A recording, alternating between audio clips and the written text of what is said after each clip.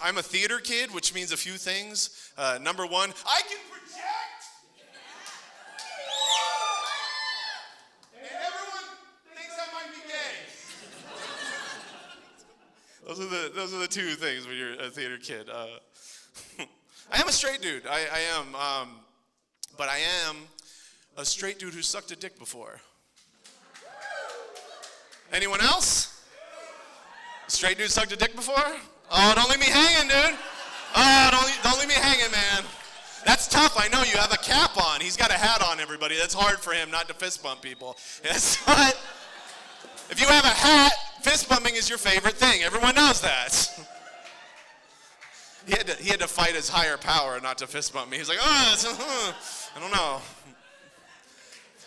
I, I, I actually knew you don't suck dick because your hat's not on backwards.